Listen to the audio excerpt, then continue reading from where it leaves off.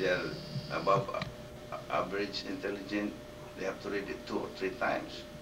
So if you classify in that category, you have to spend more time, you know, and effort. But then the result is the same.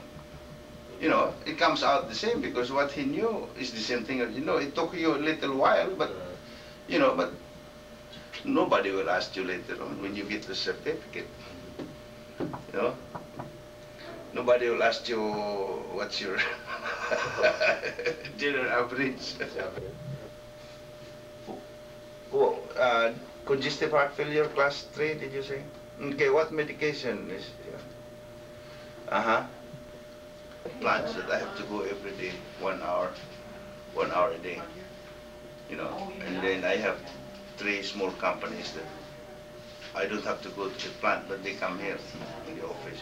So seven. So five. Uh, No, no, including the nursing home. The nursing Yeah, home. and seven, yeah, seven.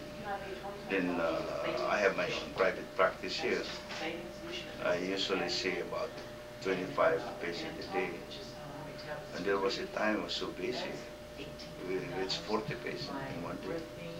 Well, that's tough.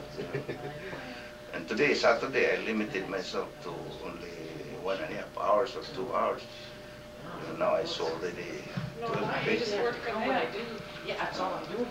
keep us busy. And then uh, they called me in the emergency room for injuries.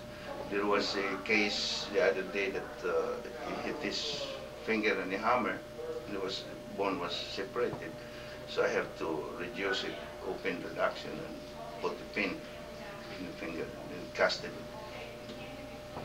Then almost every day I get cold suturing, tied up somewhere, you know, or, or I cannot do it. This is what you get when you Physicians Recognition Award when you attend uh, seminars.